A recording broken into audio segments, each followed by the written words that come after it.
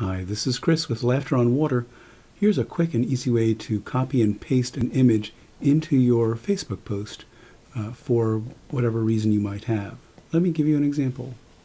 First, I'm going to create a Facebook post. I might, for instance, copy and paste some information that I had already lined up, paste it into my post. Then I'm going to go over to Google and go to the images search. And here I might type in what I'm sort of looking for. Usually something will come up. I won't go to these up here. These are advertisements. I'm going to go down below, but first I'm going to go to Tools, Size, Large. And this one looks like the correct one. So I'm going to click on that, and I see that it's fairly large. I'm just going to right click on this image and copy the image, come back over to my Facebook page and control V.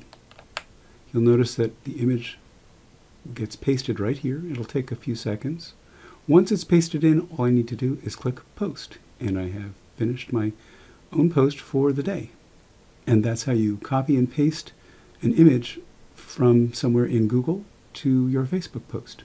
Thanks for watching. This is Chris with Laughter on Water. Have a great day.